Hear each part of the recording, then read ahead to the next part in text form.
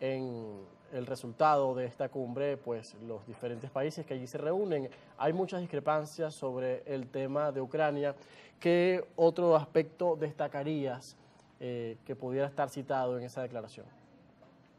Sí, como bien dice José Enrique, hay ciertas discrepancias en torno al documento final. Ya se conoce un borrador de 16 páginas aproximadamente, pero uno de los temas más sensibles es precisamente la invasión de Rusia a Ucrania. Los europeos tienen como voluntad unificada que exista en la declaración una condena absoluta a la, invasión de Rusia contra Ucrania, pero existen discrepancias del lado latinoamericano, en particular por la cooperación y amistad que existe entre algunos países latinoamericanos como Cuba Nicaragua con Rusia. Y esto es algo que puede complicar el texto final, que además es parte de un proceso de eh, hacer esta cumbre inclusiva. ¿eh? De hecho, hace unos días me encontraba en Bruselas en el marco de una agenda eh, académica y una de las grandes preocupaciones en ese momento era si hacer esta cumbre inclusiva o no, es decir, invitar a... Están muy de relieve en este encuentro multilateral, en la situación de Venezuela tampoco ha estado al margen de la cumbre de la Unión Europea con los países de la CELAC. Vimos ayer una reunión entre la vicepresidenta Elsie Rodríguez, el representante de la oposición Gerardo Blight, con diferentes presidentes como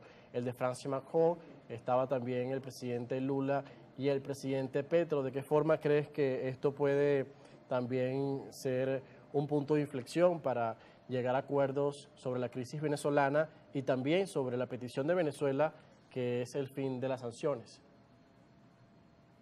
Sí, me detengo en el último punto, José Enrique, justamente sobre el tema de las sanciones, veíamos en la locución del presidente Lula. Siguiendo lo que ocurra y lo que se describa en esta declaración final de esta cumbre de la Unión Europea y la CELAC. Gracias a ti, José Enrique, un placer acompañarles en este espacio. Con nosotros está ahora Dylan Pereira desde